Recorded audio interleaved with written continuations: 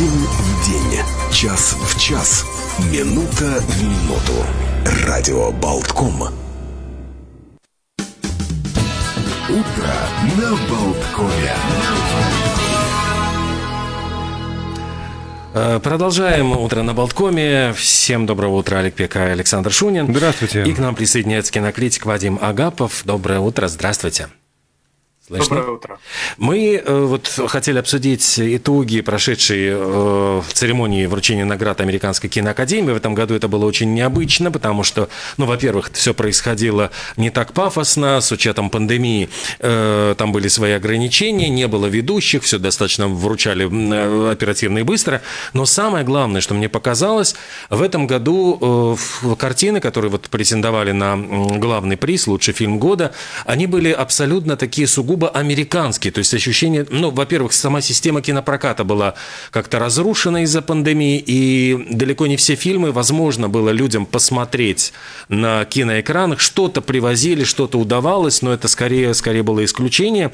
И вот эти фильмы американские, они скорее были посвящены своим каким-то узко, узкоспециализированным проблемам, то есть это и судьба бездомных американцев, там, земле кочевников, это и э, суд над Чикагской семеркой, это вот какие-то, ну, истории американской борьбы там против э, войны во Вьетнаме, э, история черных пантер, э, история мигрантов, там, Минари, то есть как будто бы вот все фильмы, они не являются таким народным кино, вот если вот вспомнить, э, что раньше побеждало, «Гладиатор», «Форест Гамп», «Титаник» уж там, вот, ну просто ну, фильмы, которые смотрели миллионы и миллионы по всему миру. Вот так ли это, вот, наверное, первый вопрос, к которому мы обращаемся к к Вадиму Агапову.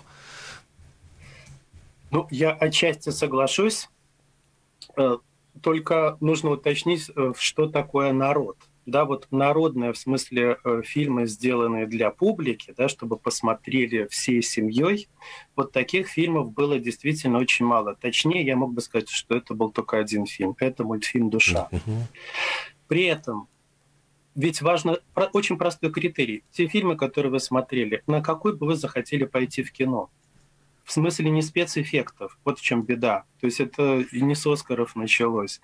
Сейчас в кино идут только из-за спецэффектов, потому что понимают, что на маленьком телевизоре да, смотреть такие эффекты неинтересно. Но раньше люди входили в кино, потому что некий коллективный опыт давал больше, чем индивидуальный. Скажем, комедии с Луи де Фюнесом смотреть дома или с Пьером Ришаром совсем не так интересно, как в зале. Вот он коллектив, вот он народ. Вы становитесь умнее от того, что вы улавливаете э, реакцию зала. И сейчас, ну это, конечно, Голливуд э, не виноват, это вообще с кино такое сейчас происходит все. Но если говорить о, как в советские времена говорили, национальные по сути, а социалистические по содержанию, то тут можно сказать, что да, американские фильмы сейчас по, с- по форме, они вроде бы про Америку, суд над какой-то там семеркой или восьмеркой, про каких-то мигрантов, но если чуть-чуть глубже копнуть, это универсальные темы. Это универсальная тема авторских прав, да, э, с, э, про Манка Мгм. фильм. Это о свободе прессы, о свободе высказывать свое мнение. Извините, это что, американская проблема? Или Минари, когда южнокорейская семья переезжает в Америку. Да, пожалуйста, снимите фильм о том, как латыши переезжают в Россию и пытаются наладить связь с русскими. Это что, не наша тема? Просто за нее здесь никто не возьмется. Страшно. И никто за это, э, ее никто не профинансирует, ни Россия, ни Латвия. Поэтому остается Америка. И в этом смысле, да, зрительских фильмов было намного меньше, но а универсальных фильмов все-таки хватало, просто нужно было чуть-чуть докрутить, да, какие-то включить метафорические цепочки в голове, и все. Изменилось ли вот за это время все-таки способ потребления кино, потому что э, действительно картины вот такие серьезные, тем, тем не менее их интересно смотреть в кинотеатре вот с какой-то аудиторией, с реакцией зала, э, а когда человек вот приходит э, после рабочего дня, садится перед телевизором, как правило, ну даже вот если он выбирает кино там вот через эти стриминговые платформы, ну стопроцентно это будет выбор. Как какая-нибудь легкая комедия, какой-нибудь такой э, боевичок, ужасник. То есть, э, ну, дома ты э, настроен скорее все-таки э, развлекаться, чем смотреть, э, даже если у тебя большой прекрасный экран, вот в одиночестве, какие-то серьезные mm Э, фильмы. Вот это, это, это то, то, э, о чем мы час назад говорили с нашей гостью, с психологом о цифровой деменции, угу. о том, что мозг ленится. Мозг ленится, Скорее да. поэтому мы выбираем комедию, чем какой-то серьезный фильм. Я бы добавил, что при этом вы как раз и не отдыхаете. Это фильм отдыхает за вас, потому что, ну, если вы смотрите всякие юмористические шоу, да, есть закадровый смех, он смеется за вас, а вы на самом-то деле и не отдыхаете. На комедии вы гораздо больше отдыхаете, но ну, вспомните свой киноопыт когда вы приходите в зал, и весь зал смеется на волне, даже когда вам не смешно, вы просто заражаетесь общей эмоцией. Или, если вы ребенок, вы начинаете включать мозг. Почему эти взрослые смеются там, где мне не смешно, а там, где я ухахатываюсь, взрослые сидят и, и не улыбаются даже. То есть, конечно, мозг прокачивается намного лучше в кинотеатрах. И это связано э, не только с, ну, да, с новыми технологиями, то, что сейчас называется инфопузырь. Да? Угу. Мы для комфорта забираемся в свой информационный пузырь, мы общаемся только с теми, у кого те же интересы, что и у нас, и в итоге мы не отдыхаем, да, а мы как белка в колесе прокручиваем в голове все те же паттерны, да, то есть мы работаем намного больше, хотя нам кажется, что мы пришли расслабиться. Вадим, удалось ли вам посмотреть вот э, большинство из этих фильмов, учитывая то, что, к сожалению, в прокате у нас ну, что-то привозили, вот когда успели в прошлом году летом, там на какие-то фестивали, что-то можно было посмотреть на стриминговых платформах. Вот э, как сейчас вот искать вот такое кино оскаровское? Ну, сейчас, конечно, есть все эти платформы, тем более, насколько я понимаю, Netflix э, запросто можно подключать здесь, в Латвии, и у Netflix было около 30, что ли, номинаций в общей сложности. То есть так или иначе эти фильмы попадут. Но я думаю, если вы не знаете, как эти фильмы посмотреть в интернете, попросите ваших детей, они бесплатно достанут в интернете все, что угодно. И да, я фильмы, большинство из них я посмотрел. Повезло. Что произвело наибольшее впечатление и что бы вы могли порекомендовать нашим слушателям? Ну, как я уже сказал, наибольшее впечатление – это мультфильм э, «Душа». Ну и второй мультфильм «Легенда о волках», хотя он локальнее чуть-чуть, да, но все равно это 2D-анимация, это очень здорово сделано. Это анимация как раз первую очередь думает о зрителе. Они понимают, что просто так детей, там, пятилетних, шестилетних родителей в кино не отпустят. Значит, надо делать фильм, который понравится и родителям, и бабушкам, что там будет очень многослойное содержание. И, естественно, эти фильмы я и могу порекомендовать. Все остальные, но это уже зависит от ваших вкусов, от ваших предпочтений. Насколько... Только два. Да, вот э, если взять фильм «Отец» э, Энтони Хопкинс, его все-таки вторая награда после там 30-летия прошедшего с молчания ягнят, э, насколько здесь его победа вот, была абсолютно оправданной и предсказуемой? Ну, дело в том, что Хопкинс, конечно, супер актер, да, и здесь он сыграл не просто, обычно пишут, что ну вот человек осмелился, сыграл там э, человека, боле, болеющего какой-то деменцией, да, или альцгеймер, не, не совсем понятно, что а если смотреть чуть, чуть глубже, он здесь сыграл не только старика. Если вы смотрели фильм, он же там из-за того, что теряет память, его перебрасывает в разные моменты его прошлого. То есть мы видим Хопкинса молодым, когда он заигрывает с медсестрой. Он там чуть ли не чечетку готов танцевать.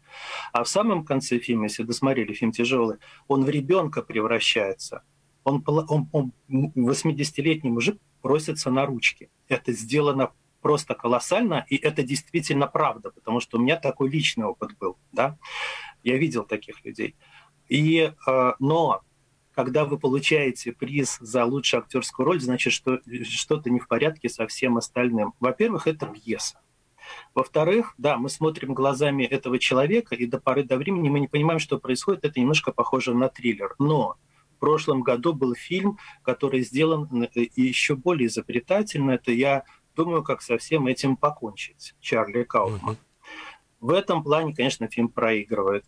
Ну и, конечно, конечно, упущена просто фантастическая возможность, потому что в этом фильме Хопкинс в какой-то момент понимает, что с ним что-то не так и начинает юлить, начинает подстраиваться, чтобы его не отдали в дом престарелых. Из этого можно было сделать такую комедию, лирическую, очень э, душещипательную, но комедию, как человек выкручивается. Ну, как фильм «Безумие короля Георга», например, да? А здесь все решили выжить просто на слезы, mm-hmm. и вот это, конечно, на, такая эксплуатация. Я понимаю, что Хопкинс может с вами сделать что угодно.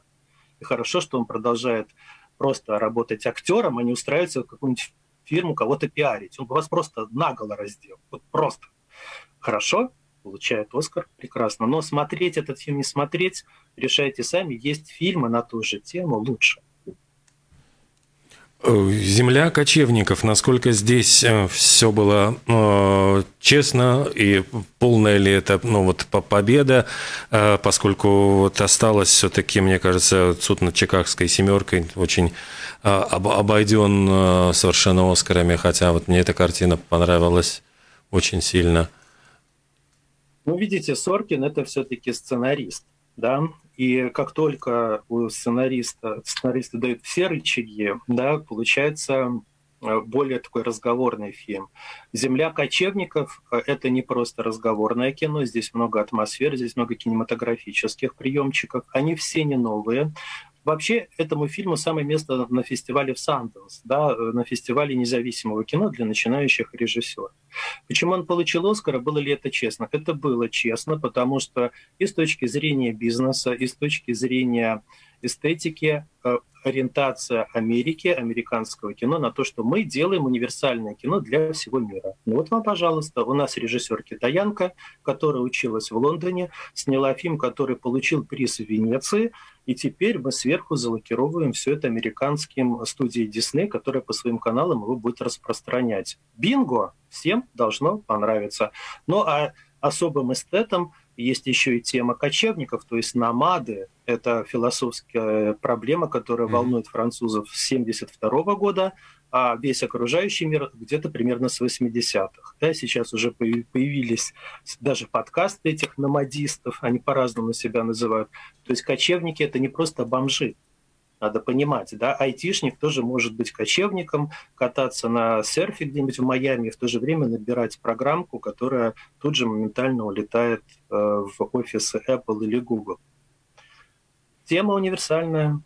Ну, с такой достаточно социальной критикой, там показана и патагонная система того же самого Амазона, э, и как-то все это, ну вот э, мне показалось, что фильм из тех, которые с огромным удовольствием в советское время брали в прокат, чтобы показать ужасы капитализма, и он такая прямая противоположность вот Америке, которую мы представляем себе там по «Секс в большом городе», скажем, сериалу. Я, насколько я понимаю, кстати, сцены на складах Амазона достаточно смягчены, в отличие от оригинальной пьесы. Да. Да, да, вот именно да, я и сказал бы, что скорее смягчены. Может быть, я, у меня, конечно, немножко такая теория заговора в голове, но э, Безос, да, то есть э, хозяин Амазона, это вообще-то при, принстонский выпускник. А хочу напомнить, что Фрэнсис Макдорманд, в первую очередь, ну, которая продю... не только актриса, она и продюсер этого фильма. Она ведь жена Джоэла Коэна, mm-hmm. то есть эти наши знаменитые братья Коэны, mm-hmm. которые тоже забирают все Оскары, когда только снимают фильм. И один из этих братьев тоже принстонский выпускник. Так что хм, про критику капитализма я бы не был настолько э, прямолинеен. Я думаю, что там все-таки есть нюансы. Да? Ну и сам Безос человек очень интересный. Это не просто такой вот махровый капиталист. Заметьте, человек, который начал с торговли книжками. И всю жизнь говорит, ребята, читайте mm. фантастику. Я заработал все свои деньги просто потому, что в свое время прочитал «Лавину» Нила Стивенсона. Кто из вас ее читал? Ну и все. Причем тут капитализм? Это человек пропагандирует чтение. Мы сегодня, а, а, и опять же, мы возвращаемся э, к ситуации на час назад. Час назад мы пропагандировали чтение. чтение да. Отложи гаджет, возьми в руку книжку.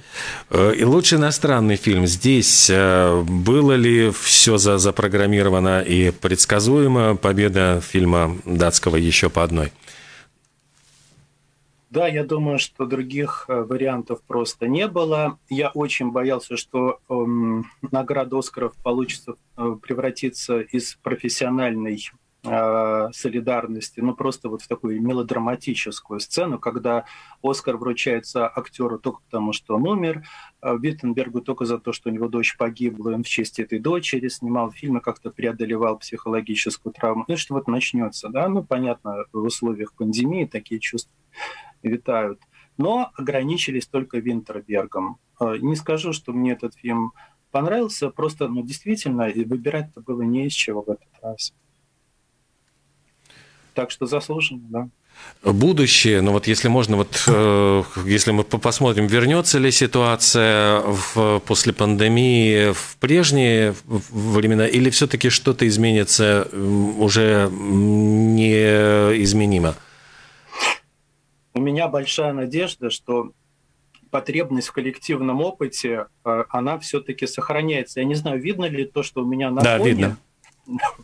Это, это настольные игры. То есть э, сейчас, как мне кажется, да, опыт вот этот коллективный, собираться вместе, думать, вместе получать какое-то, какие-то впечатления, переключилось на настолки. И там за последние 3-4 года такие революционные изменения – которые ну, в кино просто не с чем сопоставить. Уже 25 лет ничего такого новаторского не происходило. И если те дети, которые сейчас, ну и взрослые, которые сейчас сидят на настолках, если там начнется кризис, они могут переключиться в кино, пойти, и им будет сериалов недостаточно. И начнем э, видеть, будем смотреть какие-то экранизации настолок. Я не исключаю такой вариант. Mm. Да, тем более Джуманджи, у нас уже есть опыт перед глазами. Да, Спасибо. Да. Интересный прогноз. Спасибо огромное. Вадим Спасибо, Агапов, кинокритик, сегодня с нами был Хорошего на дня. связи. Хорошего дня, всего доброго, до свидания. Нам пора уже заканчивать. Э, и напомним только, что эфир э, продолжается. Радио Болтком. Очень много интересных гостей сегодня ожидается в нашем ну, а эфире. Пересказ наших радиовстреч, назовем это так, ежедневно на портале Mix News LV. Добро пожаловать читать. Утро на Болткоме.